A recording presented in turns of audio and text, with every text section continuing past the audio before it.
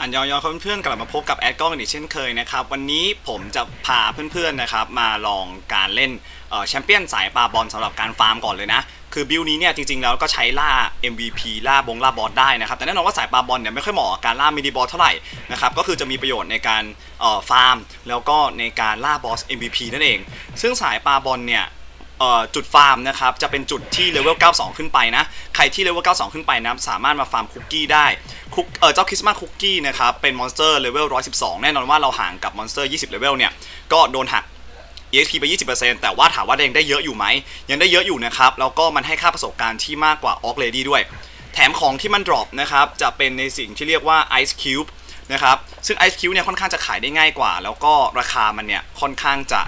ดีกว่าด้วยนะครับไอซ์คิวคืออันนี้นะครับแม้ว่ามันจะดรอปไม่เยอะมากครับ แต่ว่าอย่างน้อยเนี่ยมันเป็นของที่ขายออกค่อนข้างง่ายนะแล้วก็เป็น crafting material ที่ใช้อัปเกรดของขั้นสูง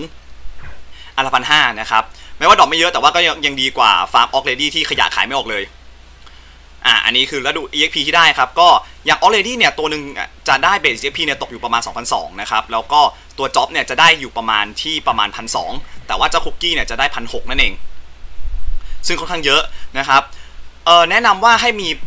base job level ขึ้นมาก่อนนะครับจนอัพการปาบอลเลเวล10 ได้ เพราะปาบอลเลเวล10 ได้เนี่ย cooldown จาก 5 วิเนี่ยมันจะเหลือเพียง 3 วิครับท่านผู้ชมนั้นเนี่ยเวลาเราปาเนี่ยเราก็จะแบบใช้งานได้ค่อนข้างจะรวดเร็วมากนะครับ skill build ของสายปาบอลเนี่ย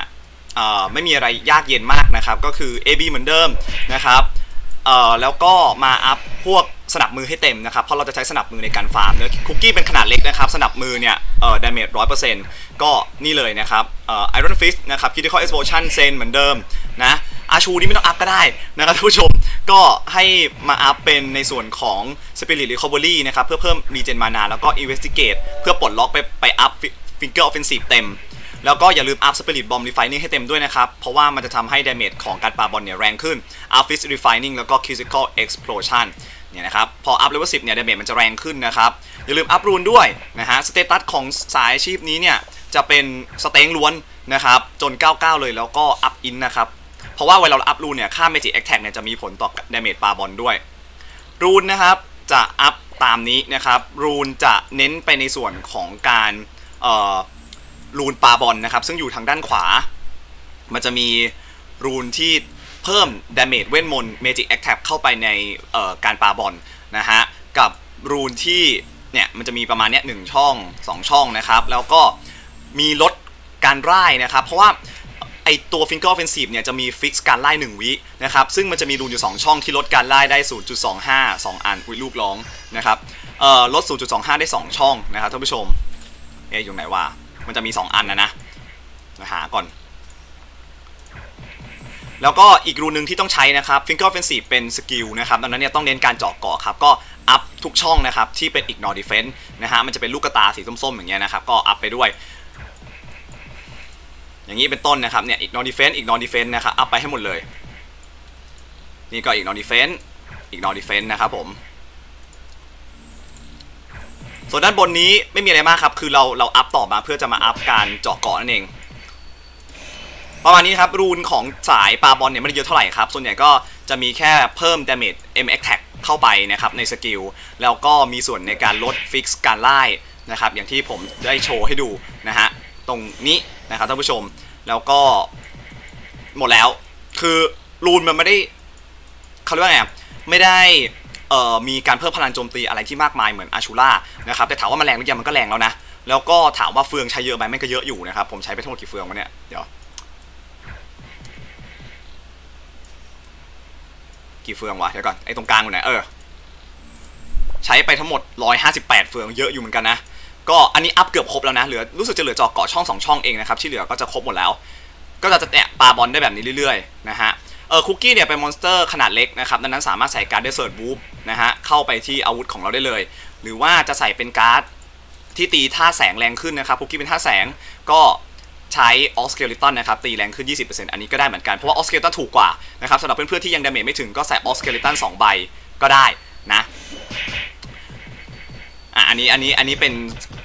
การจัดการนะครับ Orc Skeleton มันใบละห้าแสนอะคือถูกกว่าดังนั้นเนี่ยก็ถ้าเกิดว่าใครไม่มีตังค์ซื้อ Desert Wolf ก็ Orc Skeleton สองใบเนี่ยจะต้นทุนต่ำกว่านะครับผม จริงๆคุกกี้มันเลือดแค่แสนเดียวอะคือถ้าเกิดคุณ damage เบากว่านี้มันก็ไม่เป็นไรนะ ก็ก็ฟาร์มได้เหมือนกันนะครับท่านผู้ชมนะจะประมาณนี้ ปุ้งปุ้งปุ้งปุ้งเมื่อกี้ผมพูดไปครบอยังนะครับ เมื่อกี้มีเมื่อกี้โชว์ rune ไปแล้วเนอะมีเอ่อในส่วนของอะไรอะ status กับ skill ที่พูดไปแล้วนะฮะ แล้วก็ไอเทมสวมใส่เนี่ยจะเน้นเป็นไอเทมเออเพิ่มพลังโจมตีกระจอกเกราะนะครับเอ่อปกติแล้วเนี่ยเราจะใช้เจาะเกราะก็คือผ้าคลุมอลิสนะครับ แล้วก็เอ่อโรซาเบรสเลตในกรณีที่คุณมี อีวิเบเซอร์อีวิเบเซอร์เนี่ยเวลาเราใส่เนี่ยมันจะมีโอกาสนะครับที่จะทำดาเมจบวก 100%เลยบวก 100%จริงๆนะ สมมติว่าตี 2 0 0 0 0 0เราแสนแปดอะอย่างเมื่อกี้ผมตีแสนแปดถ้าเกิดว่ามันติดบัฟเนี่ยมันจะตี3ามแสนหในฮิตถัดไปเลย คือเราเราใช้สกิลเดี่ยวจะมีโอกาสได้บัฟที่ทำให้การโจมตีครั้งถัดไปเนี่ยแรงขึ้น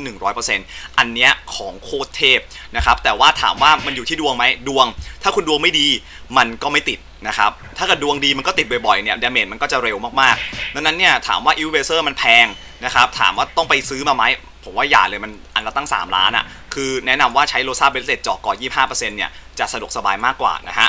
อะแต่สำหรับการฟาร์มเนี่ยคุณอาจจะใส่เป็นโลกาชาก็ได้ใครที่มีเพราะว่ามันบวกจ็อบ EXP 10%จะได้เก็บ job ไวๆนะฮะอย่างผมเนี่ย damage เกินแล้วผมก็จะใส่เป็นตัวนี้ เสื้อก็เป็น Tights เหมือนเดิมนะครับท่านผู้ชมเอ่อการ์ดก็ต้องบวกพลังโจมตีเนื้อใครไม่มีตังก็ใส่การ์ด Picky ไปก่อน ถ้ามีตังก็ใส่ Archer Skeleton ดาวส่วนหัวเป็น Cat Ear Beret attack 5%นะครับแล้วก็ใส่การ์ด Deviruchi ก็ได้บวกค่า strength เพิ่มขึ้นนะฮะที่เหลือก็เป็นของพวกของกาชาเนอะถ้าเกิดว่าไม่มีก็ใส่เป็นหางหมานะครับแล้วก็ปีก ปีกก็คือปีกแดงนะฮะท่านผู้ชม อนาคตเดี๋ยวถ้าเกิดทำปีกแดงเสร็จก็ใส่ปีกแดงบวก attack 5%ไปนั่นเอง ซึ่งมันมีผลกับการปาบอลดีมากเพราะว่ามันบวกพลังโจมตี5แล้วก็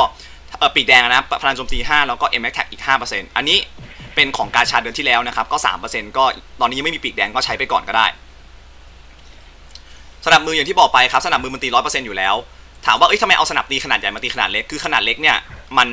ตีร้อยเปอร์เซ็นต์ไงสำหรับสนับมือนะครับเราก็ใช้มันไปก่อนจะได้ไม่ต้องซื้อสนับใหม่ ผมก็แนะนำว่าซื้อใจแอนโกฟมาแล้วก็ใช้ใช้ไปเลยแค่สลับการ์ดเฉยนะฮะเนี่ยมันก็ฟาร์มได้ค่อนข้างเร็วนะสามสามจุดห้าวิได้หนึ่งตัวนะครับรอ cooldown สามวิเวลาไล่อีก0.5จุดห้าจุดฟาร์มนะครับก็จะเป็นเออเขาเรียกว่าไงจุดที่อยู่ใน Toy Factory ชั้น2นะฮะเอ่อหรือว่าที่เมืองลูตี้ที่มันเป็นเมืองหิมะนั่นเอง Toy Factory นะครับโรงของเล่นนะครับชั้น 2 หรือว่า 92 ขอเข้ามาฟาร์มนะครับก่อนหน้านั้นเนี่ยแนะนำว่าฟาร์ม Orc Lady หรือว่าฟาร์มพังเนี่ยจะดีกว่านะครับพอเราเลเวลนี้แล้วเนี่ยเราก็มาฟาร์มตรงนี้ได้นะครับแน่นอนว่าคนแย่งน้อยกว่านะครับสำหรับ Monk ที่เล่นสายปาบอลเนี่ยค่อนข้างจะแนะนำมาก สายตีไม่ค่อยแนะนำครับเพราะมันใช้เวลาค่อนข้างจะนาน แล้วก็โดน damage เยอะนะครับเราอาจจะโดนมอนทุบตายห่าไปก่อน แนะนำว่าเช่าเจ้าวาซาบิมาด้วยนะครับจะโดน damage ลดลง แล้วก็กันตัวเราตายเวลาโดน monster แบบรอบๆแถวๆนี้มันตีนะฮะ เนี่ยแล้วมันก็จะสบายมากๆเลยครับเพราะว่า monster มันจะเกิดเรื่อยๆแล้วเราก็ฟาร์มอยู่ตรงนี้นะครับไม่เสียเวลาวิ่งอะไรเยอะด้วยเพราะ monster มันก็เกิดเรื่อยๆเนี่ยก็ป่าป่าไปครับ ทีละแสนกว่าแสนกว่าชิวๆเลยนะครับ